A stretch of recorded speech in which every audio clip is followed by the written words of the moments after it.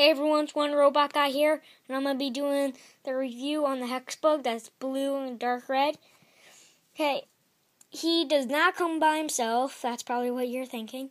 He does come with a habitat with that um, orange, see-through orange spiral piece, and two um, hexagons that connect with that, and some black poles so they can um, go on top of each other. And this, um, it's a pretty cool Hexbug because he's okay. He's not so good of a battery. No, wait, maybe he is. Like that. And if looks like that, it's kind of cool. He w- all Hexbugs they can flip over, put it over with all the other guys. All like that. And that's my review, so bye.